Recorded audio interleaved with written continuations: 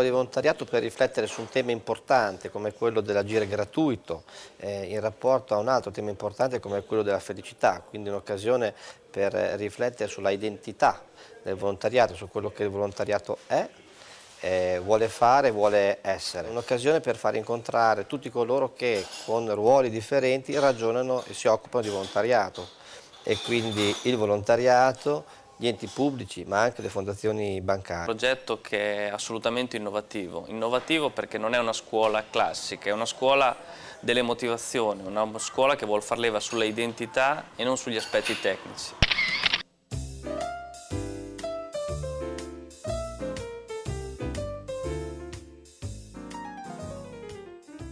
Una scuola di volontariato per riflettere sull'agire gratuito e per favorire la crescita del capitale umano impegnato nell'associazionismo e nella promozione della cultura del volontariato. È questa l'iniziativa unica in Italia rivolta ai vertici delle organizzazioni di volontariato e del terzo settore, della pubblica amministrazione e delle fondazioni bancarie, promossa dal Comitato di gestione del Fondo speciale per il volontariato dell'Emilia-Romagna, insieme al coordinamento emiliano-romagnolo dei centri servizio per il volontariato e supportata dal punto di vista scientifico da ICON, l'Associazione italiana per la promozione della cultura della cooperazione e del non profit. La prima edizione della scuola si è svolta a Rimini dal 30 novembre al 1 dicembre 2007 e a Parma dal 1 al 2 febbraio 2008. Professori universitari ed esperti del terzo settore hanno tenuto lezioni con l'obiettivo di formare esperti di gratuità e felicità.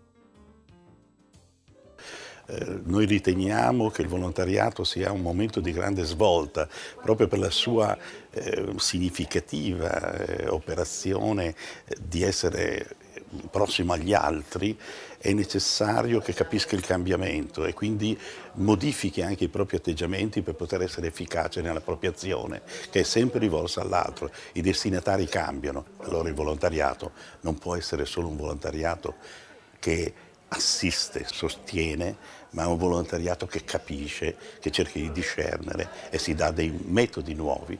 I punti di svolta epocale bisogna ricorrere alla cultura, dove cultura vuol dire riscoprire i fondamenti di un certo modo di agire e recuperando antichi valori, ma soprattutto innovando le forme della presenza.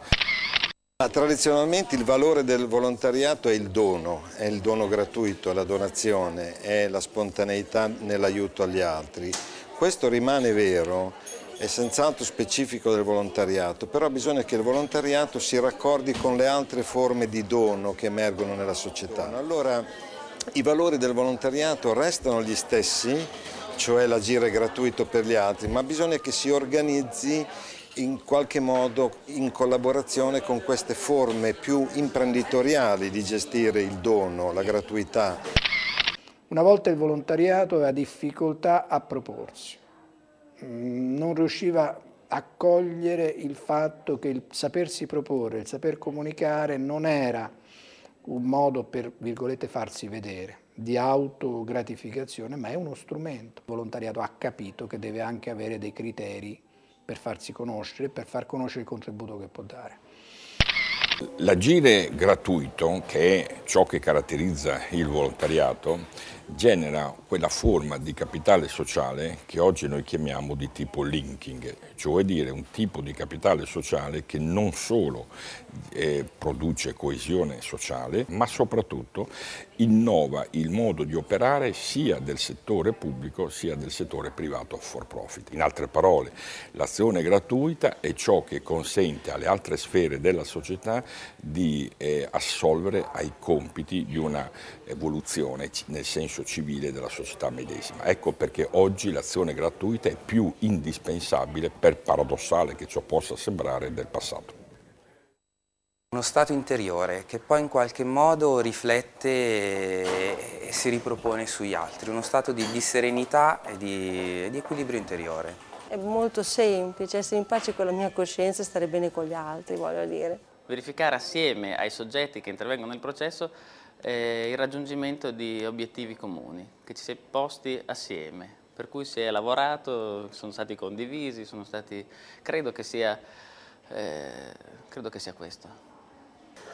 Il rapporto tra benessere e felicità nel contesto del volontariato oggi sta forse un po' cambiando rispetto al passato, perché nel passato ci si concentrava soprattutto sul fatto che l'azione di volontariato fosse un'azione utile, un'azione che desse beneficio agli altri. Questo naturalmente continua a essere vero, forse anche più di prima.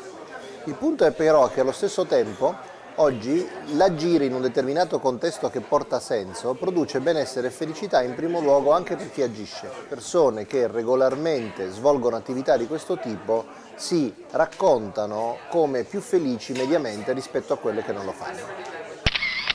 Il volontariato è molto importante perché dietro i fattori materiali che noi consideriamo eh, la, la, produttività, eh, le ore lavorate, il capitale, ci sono in realtà dei fattori nascosti che sono fondamentali, immateriali, che sono la dignità, l'autostima, i beni relazionali. Il volontariato lavora proprio su questi fattori nascosti, pensiamo alla cura no? delle persone, al reinserimento delle persone che sono in condizioni di disagio. Quindi curando sia i beni relazionali che eh, eh, queste risorse fondamentali, dignità e autostima, crea le premesse affinché le persone possano essere produttive nel, nel sistema economico.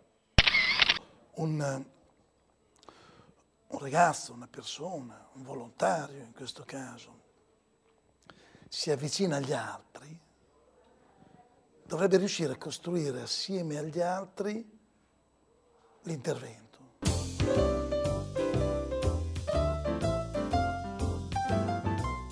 Un abbraccio di un disabile che ti si avvicina e ti abbraccia cioè praticamente lì senti dentro di te qualcosa di diverso, qualcosa che ti appaga, chiamiamola felicità.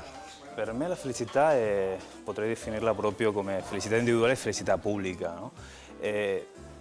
Una felicità proprio che tende o può essere proprio il benessere dell'individuo, ma non soltanto come individuo, ma anche come gruppo di individui, come comunità, come collettività che tende a quel tipo di benessere diffuso. Volontariato mi ha dato tanto, eh, mi ha dato molto e mi...